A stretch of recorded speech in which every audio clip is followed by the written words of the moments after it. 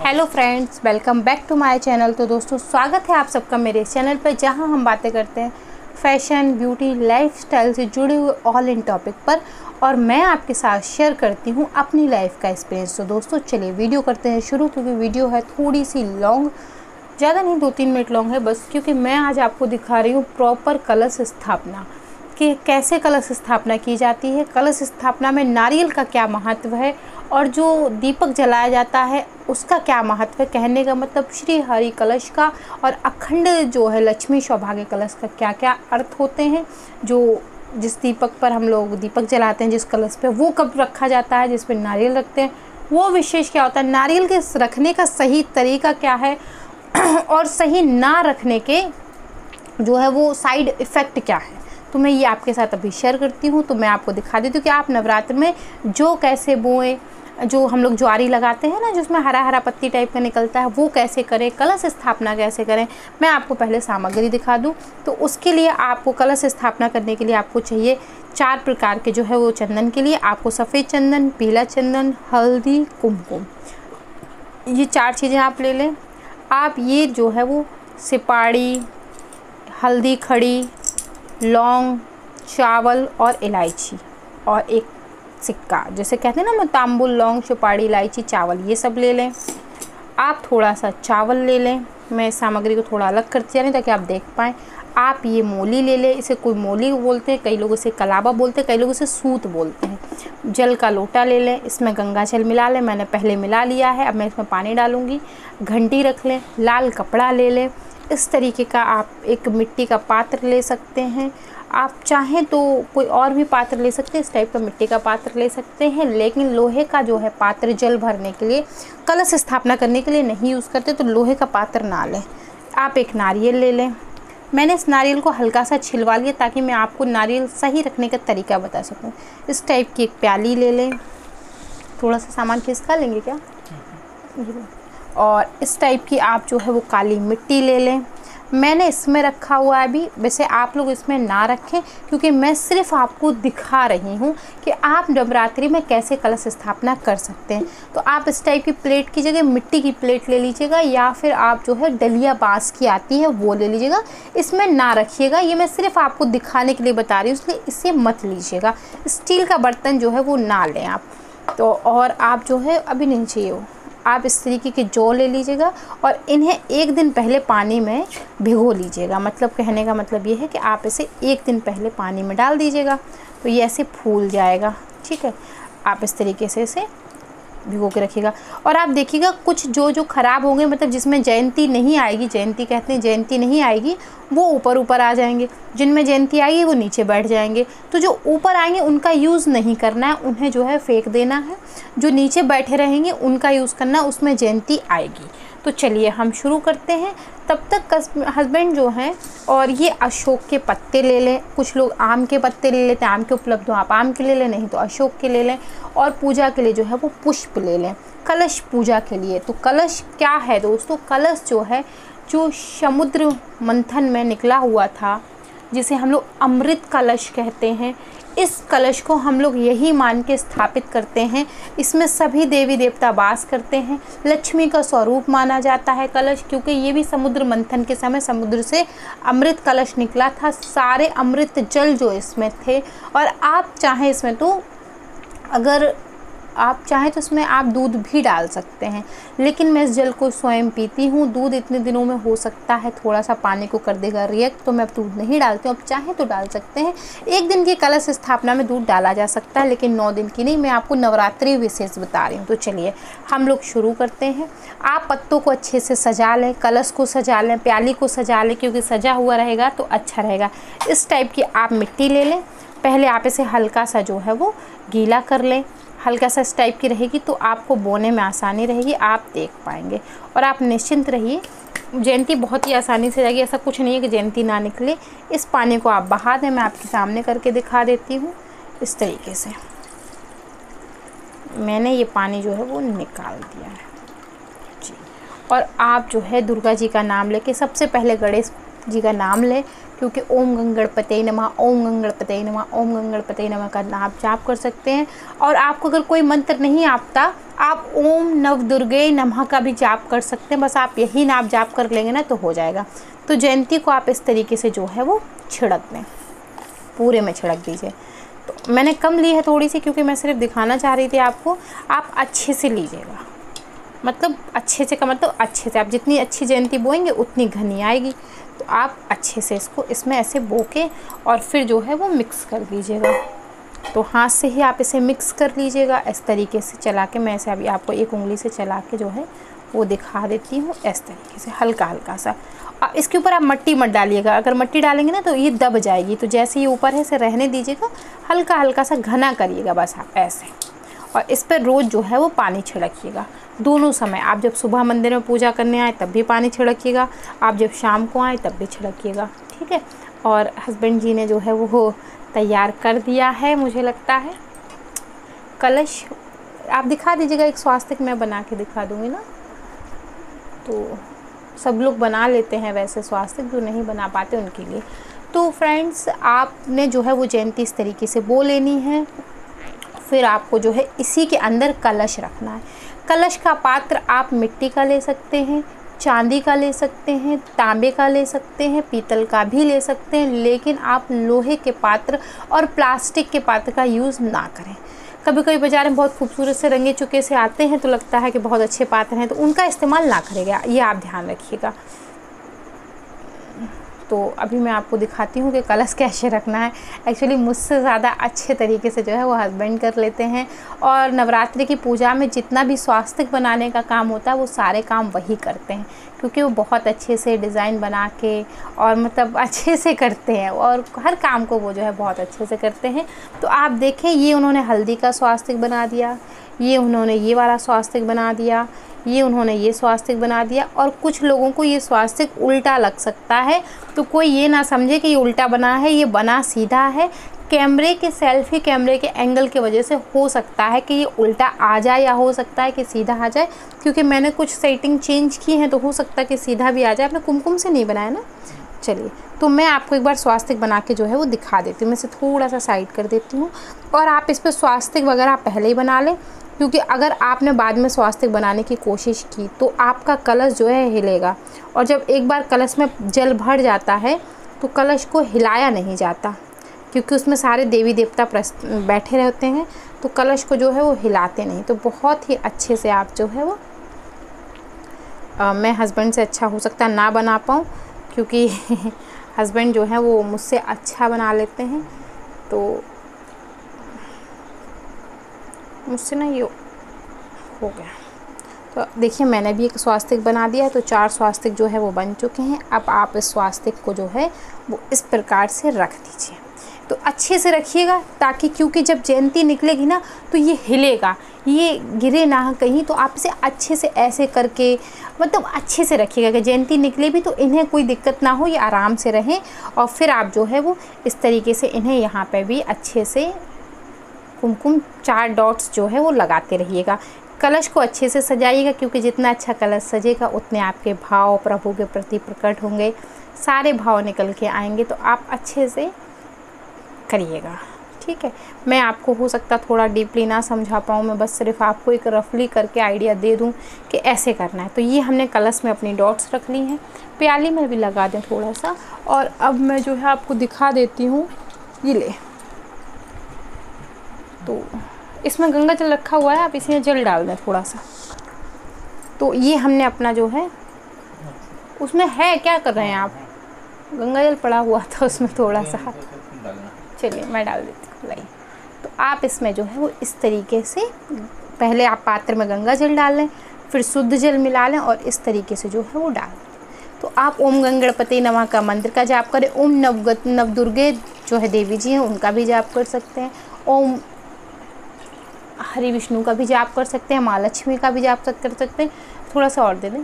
तो जो भी आपको आता है, आप उसे कर सकते हैं। पूजा में सीधे हाथ का प्रयोग करें और ये हाथ जो है, वो यूँ लगा के भी कर सकते हैं। कुछ लोग दोनों हाथों से कर सकते हैं। तो मैं दोनों से करके आपको दिखा देती बस इस तरीके से आप इसमें जल भर दें। उसके बाद जो है, आप इसमें अपना जो है, सबसे पहले जो है, इसमें डाली जाती है। आप हल्दी डाल दें, ये सिपाड़ी डाल दें। ये आप एक इलायची डाल दें, आप ये एक लौंग डाल दें, ये एक तांबुल डाल दें। जी हाँ तो आप इतनी चीज़ें डाल दें, उसके बाद आप इस तरीके से कलावा ले लें। कलावा से इन्हें ज़रूर सजाएँ। कलावा जो है ये कलावा पता नहीं किस टाइप का है। इस बार शॉप वाले भैया ने ना अच्छे से नहीं दिया चीज़ें। तो इस तरीके से आप कलावा ले लें और तीन बार जो है वो बांधा जाता है। तो आप देख लें कि आपका तीन बार कहाँ समाप्त हो रहा है। अच्छे से जो है वो ऐसे दो और ये तीन। बांधें और इसे यहाँ पे तोड़ दें। जी और इसे यहीं पर छोड़ दीजिए आप। तो ये आपका जो है वो कल, कलावा बन गया है। और कोशिश करें कि ये हिले ना ठीक है? और इसके बाद आप जो है अशोक के पात्र जो है वो इसमें डाल दें। अशोक के पात्र डालने के बाद आप अशोक के पात्र को अच्छे से जो है वो सजा लें। पत्ते होते अच्छा पात्र गलत भूल गई मैं सॉरी मैंने ध्यान नहीं दिया। तो सॉरी फ्रेंड्स इन्हें पत्ते कहा जाता है तो आप अशोक के पत्तों को अच्छे से सजा लीजिए अच्छे से उसमें कुमकुम चंदन सब कुछ सजा लीजिए क्योंकि जब अच्छे से सजा के रखेंगे तो थोड़ा ऊपर को लगा दें नीचे की साइड लगा दिया आपने है ना? चलें कोई नहीं आप वहाँ लगा दीजिए। जी हाँ। नहीं आप मुझे दे दीजिए मैं कुछ मैं लगा लूँगी। तो आप इसमें आम के पत्ते भी छोड़ सकते हैं, आप इसमें अशोक के पत्ते भी छोड़ सकते हैं। ये दोनों ही पत्ते लगाए जाते हैं तो आप यही दोनों ही पत्ते जो है वो लगाइएगा। आगे आगे नीचे है उसमें कुमकुम तो दिखाएँ। एक और दे दें और प्याली रख दें ऊपर से। रखें यहाँ पे प्याली रख दें। हाँ मैं सही कर लूँगी, आप प्याली रख दीजिए। यही। तो आपने देखा फ्रेंड्स, ये सजी हुई है, घबराए ना, बस इस तरीके से आप अपने जो भी पत्ते हैं, उन्हें सेट कर लें। सही कर लें कहने का मतलब। और आप चाहें तो पहले रख लें, उसके बाद सजाएँ। मैं आपको पहले जल्दी जल्दी इसलिए दिखा रही हूँ ताकि आप लोग समझ पाएँ, देख पाएँ कि कैसे कैसे करना है। तो ये आपने इस तरीके से सजा लेना है।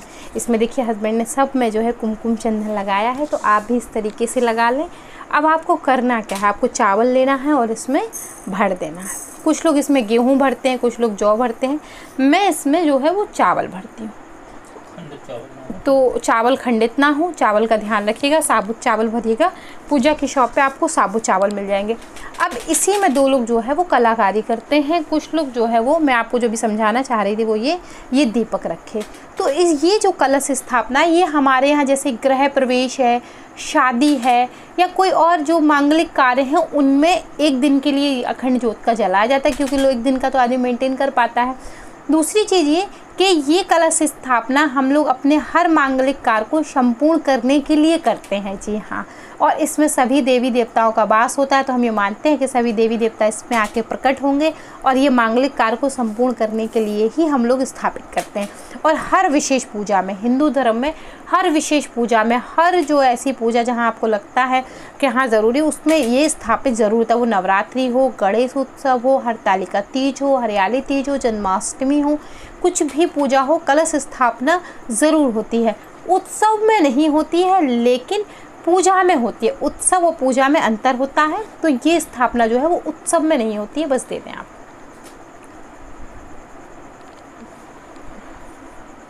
और अभी मैं आपको यहीं पर एक चीज़ समझा दूँगी। आप लोग कोई अगर कंफ्यूज हों तो मैं आपको समझा दूँगी। देखिए हस्बैंड ने कितने प्यार से स्वास्थ्य बनाया है। जी हाँ बहुत ही अच्छे से करते हैं वो। अब मैं आपको थोड़ा सा ऐसे साइड में करके हल्का सा दिखा दूँ। आप लोग कभी भी नारियल को ऐसे ना रखें कलश में। आप लोगों ने देखा है, मैंने कई लोगों के घर में देखा। आप लोग कैसे करते हैं? आई होप कि आप लोग बहुत अच्छे से करते होंगे, लेकिन मैंने देखा है कुछ लोग फ़िल्मों का देख लेते हैं तो उस तरीके से करते तो आप ऐसे ना रखें। अगर ये चीज़ ऊपर हुई और ये चीज़ नीचे हुई। तो तय है कि धन की हानि संभव है। अगर ये चीज़ नीचे हुई और ये जो है ऊपर हुई तो आपको स्वास्थ्य की हानि होगी। अगर ये चीज़ आपने ऐसी रखी और ये चीज़ जो है, वो पूरब दिशा में है, सूरज पूरब से ही आता है ना तो वो एक्चुअली मैं कॉन्वेंट से थोड़ा सा हूँ तो मुझे थोड़ा सा ये ईस्ट वेस्ट से समझ में आता है, वो नहीं आता है। तो अगर ये पूरब में होगा तो भी आपको धन की हानि तय है। तो आप इस तरीके से ना रखें। देखें, ये जो है ना, ये ऐसे लगा होता है नारियल पेड़ में। आप जब सूखा नारियल लेंगे ना, जो उस टाइप का आता है, हवन में डालते हैं वो तो आप देखें, यहाँ पे नारियल के मुख और जो है वो आँखें होती हैं, नेत्र और मुख दोनों चीज़ें होती हैं। तो इसे लक्ष्मी का स्वरूप कहते हैं। कुछ कुछ लोग इसे बलि के रूप में भी मान लेते हैं कि नारियल को मुख है इसलिए। तो ये जो मुख होता है ना वो व्यक्ति की तरफ़ होता है। जैसे कि आप देख रहे होंगे, ये उल्टा साइड ये आपकी तरफ़ है, अगर आप कैमरे से समझ पा रहे हो। और ये जो मुख का साइज़ है, ये मेरी तरफ़ है। कहने का मतलब जब आप पूजा करेंगे तो ये आपकी तरफ़ हो। लक्ष्मी स्वरूप जो इनका मुँह है, वो आपकी तरफ़ हो। आप इस मुँह को देख रहे हो, आप इस मुँह के रोज़ दर्शन कर रहे हो, रोज़ इसी कलश की पूजा कर रहे हो। तो मैं ये दीपक हटा देती हूँ। और मैं आपको जो है, आप इसे जो है इस तरीके से कपड़े में अच्छे से फोल्ड कर लीजिएगा। तो ये लिया हमने कपड़ा और इसे हम लोगों ने कर दिया है जो है वो फोल्ड। और इसी को आप जो है, कलावे से, इसी में लोग अपनी मन्नत मांगते हैं, जो भी है। हमने माना जैसे कि भाई हमारे नवरात्रि का जो पूर्ण है, वो देवी जी की कृपा से संपूर्ण हो जाए और बहुत अच्छे से हो जाए। व्रत अगर रखा है तो हम लोग कहते हैं कि व्रत जो है बहुत अच्छे से निकल जाए तो बहुत महत्वपूर्ण जानकारी मैंने आपको दी, बताई जो कि कला, कल और इस तरीके से आप उसमें कलावा बांधें। आप स्वयं से स्थापना कर सकते हैं। अगर आप किसी ब्राह्मण देवता को नहीं बुलाना चाहते हैं तो तो आप ये स्वयं से घर में कर सकते हैं। मैंने बहुत ही संपूर्ण विधि बताई है और आपने देखा दोस्तों, ये मुख है, इनका दिख रहा होगा आपको, ये मुख है, ये मेरी तरफ़ रहेगा, ये यहाँ है, ये यहाँ रहेगा। तो इस तरीके से आप जो है वो कलश की स्थापना करें। जी। और मैं थोड़ा ऊपर करके दिखा देती हूँ। ऐसे। जी तो आप समझ पा रहे होंगे कि ये हमारी जयंती है, ये हमारे कलश है, ये हमारे जो हैं वो पत्ते हैं और ये आ गए हमारे नारियल देवता। आप माता की चौकी जब लगाएँ, उनके सामने कलश स्थापना करें। अगर आपके पास विग्रह है, आप विग्रह रख सकते हैं। आपके पास अगर फ़ोटो है तो आप फ़ोटो रख के पूजा कर सकते हैं। नौ दिन का संकल्प यहाँ से लें। इसके बाद आपको क्या करना है, मैं वो बता रही। आप यहीं साइड में या अपने तरफ़, जहाँ आप बैठे वहाँ एक पान का पत्ता रखिएगा। अगर आपके पास छोटे वाले गणपति जी नहीं है तो आप सिपाड़ी में कलावा लगा के उन्हें गणपति का स्वरूप मान के सबसे पहले गणेश पूजन करिएगा, उसके बाद आप इनको धूप, दीपक, अगरबत्ती सब कुछ दिखाइएगा, फिर आप जो है आरती अपना जो भी करते हैं, नियम जो आपकी पूजा का है, आप वो कर सकते हैं। तो पहले इस कलश का पूजन करने से पहले आप एक बार जो है वो गणपति पूजन पहले करिएगा। तो आप वहीं पत्ता रख लीजिएगा पान का, क्योंकि वो नौ दिन तक रहेंगे। उसके बाद आप उनका भूमि विसर्जन कर सकते हैं। इसका क्या करना है, ये मैं आपको वीडियो में देख लूँ, थोड़ा सा लंबी तो नहीं हो रही थी जी नहीं, वीडियो भी सत्रह मिनट की हुई है। तो आपको इसका करना क्या है? जब ये जयंती उगाएगी, आपके यहाँ अगर कोई नदी है तो और सामान्य ये जयंती आप उस नदी में रख सकते हैं, क्योंकि वहाँ पानी भी रहता है, मिट्टी भी रहती है तो ये पानी और मिट्टी में विलीन हो जाएँगे। आपका रहा नारियल और ये कलश का पानी, ये कलश का पानी आप अमृत समान हो जाता है नौ दिन बाद और नौ दिन के बाद जब आप पूजा कर लें तो इस कलश को ऐसे हिला दें। जब आपको लगे कि हाँ अपना व्रत खोलने जा रहे हैं, तब। तो आप जो है इस पानी को घर के हर दिशा में छिड़के ताकि वास्तु की समस्या जो है वो इससे ठीक हो जाती है। घर में जो भी नेगेटिविटी होती है वो ख़त्म हो जाती है। तो आप ये पानी घर के सभी कोनों में छिड़कें किचन में छिड़कें और आप जो है इन पत्तों को ले लें। इस नारियल को फोड़ा नहीं जाता, इस नारियल को खोला नहीं जाता। तो आप गड्ढा खोद कर या किसी गमले में आपके यहाँ बड़ा हो तो आप इसका जो है वो भूमि विसर्जन कर दें इन पत्तों का। इसमें है चावल। इन चावलों को आप अपने रसोई घर के चावल में मिला लें ताकि भगवान की बरक्कत और कृपा वहाँ बनी रहे। पानी का मैंने आपको बता दिया क्या करना है। हल्दी, आप चाहे तो पीस के सब्ज़ी में डाल सकते हैं। नहीं डाल जा चाहते, आप भूमि विसर्जन कर लीजिए। लौंग से पाड़ी को आप खा सकते हैं, बहुत अच्छी लगती है। भीगी भीगी बहुत ही मिट्टी की सोंधी सोंधी खुशबू आती है। तांबुल जो इसमें हमने रखा है, उसे उठा के आप अपनी तिजोरी में रख सकते हैं।